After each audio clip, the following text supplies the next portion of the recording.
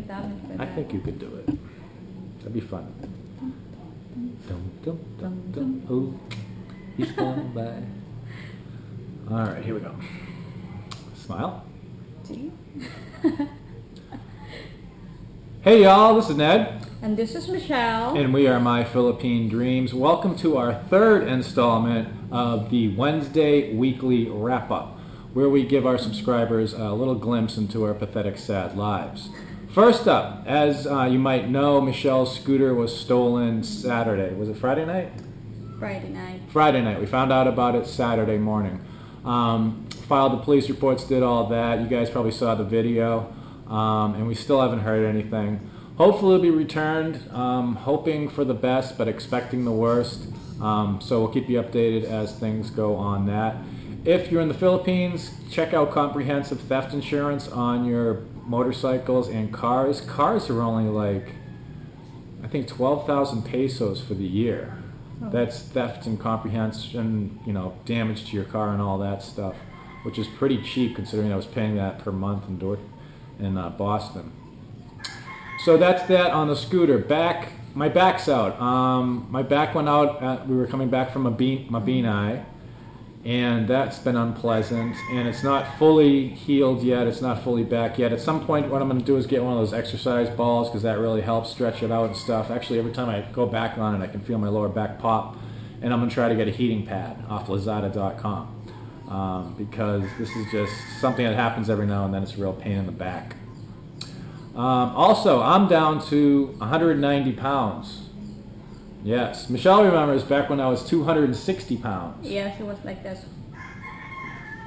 Yeah, I was a big boy. I was a power lifter and all that stuff. I was really strong. I've lost a lot of strength in the gym, but I prefer being smaller and lighter in this heat and humidity because I can't imagine being 260 pounds and walking around with like, a, you know, a huge layer of insulative fat. Now I just have a thin layer of insulative fat and some drooping skin. But anyways, um, the weather, it's been rainy and cool, which is nice. We didn't use aircon. And because it's rainy season, we we got our electricity bill and it was only 2,000 pesos, which is like $45 for the month, which was good because we didn't use a lot of AC.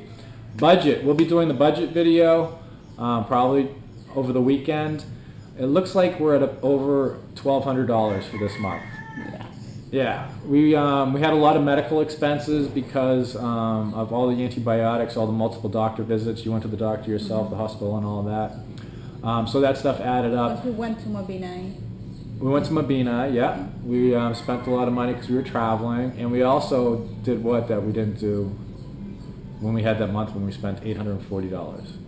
We went out to eat a lot. Yeah, so we thought. Yeah, and we weren't going out to like Karen Carinderias and cheap places. We were going to like Hayahay and Kamalig and Moons and all those places. So that added up, but that's okay. It's still well under what you know we are budgeted. Um, Michelle also went to the hospital. Yes. And what did you go to the hospital for? Uh, I was. Uh, I had a checkup and blood test, uh, CBC test. Uh, CBC test is what? Blood count, complete Yeah, blood count. complete blood yeah. count. So she went to the doctor because of vertigo.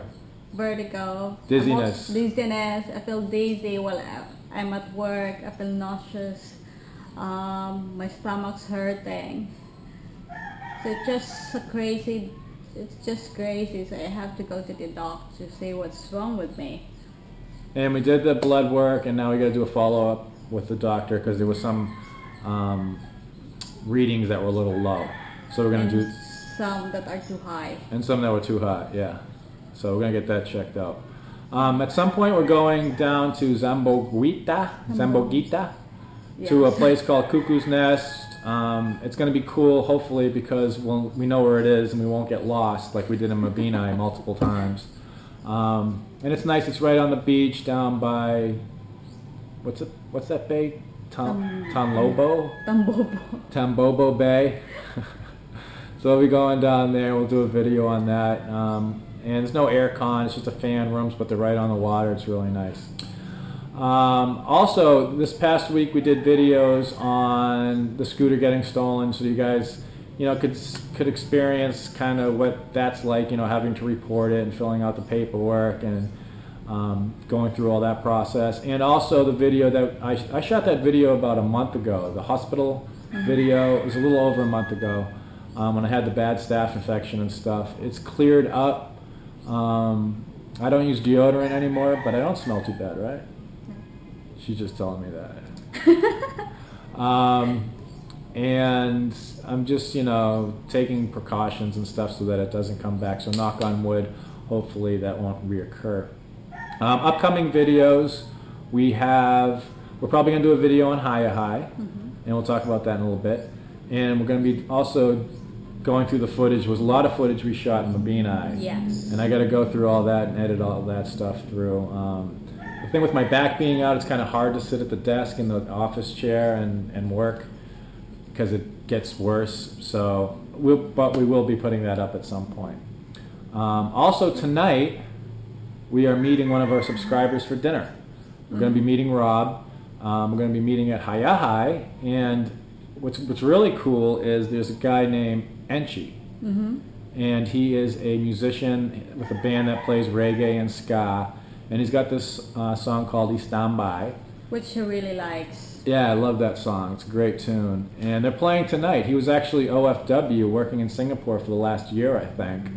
And uh, he's my friend on Facebook, and they're playing tonight at Hayahay. So we'll bring you a log for that. Um, we'll see how the how the GoPro does in low light, loud noise situations. So that's about it. Anything you want to add? No. Um, if you see a white Rusi with yellow Rusi lettering on it, just send us a private message. We missed that little scooter. It's got sentimental value, Yes. you know, because that was Michelle's first scooter, and you know every scratch and dent and ding and scuff, you know, has has some value to it because that was something that you hit along the way, right? Yes. Yeah. So just PM us. That's about it. We'll see you next time. We're also gonna I'll be putting in some little garden footage so you can see how the garden's coming along. Until next time, this is Ned, And this is Michelle. and we are My Philippine Dreams. Take care. All right, let's take a quick gander at how the garden is looking. As you can see, there's only one motor here. There is no white Rusi. And it's looking pretty good. The cucumbers uh, seem to be surviving the onslaught of snails and orange beetles. A couple of them are getting pretty big, some of them are not doing so well. There's some shade over in this section, that's why those aren't growing as well. We got to cut down this big ass banana tree frond at some point. I got to get Michelle to climb up there like a tarsier. Uh, the green beans are doing good. They're up to the barbed wire now. Uh, the okras are getting big. I don't even know if we're supposed to trellis these or not. No, you don't. Trellis them. This one, this one got crushed by a falling palm frond, so it's not doing so well. We'll probably replace them with these two guys right here. Uh, this is mostly weeds. There's only one okra plant here. There was a bunch of carrots over in that corner right there, but the uh, Mayas, uh, what they call sparrows, ate them, little bastards. And you can see our pineapple is pretty much ready for harvesting. We'll probably snatch that out and let that ripen. And the malunggay and everything else seems to be doing well. So things are looking good. Uh, and we'll keep doing updates. This is Ned over at myphilippinedreams.com. Do it again.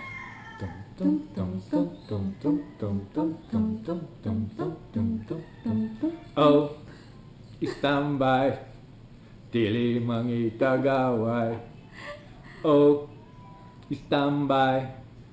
Kalinaw amang kalipay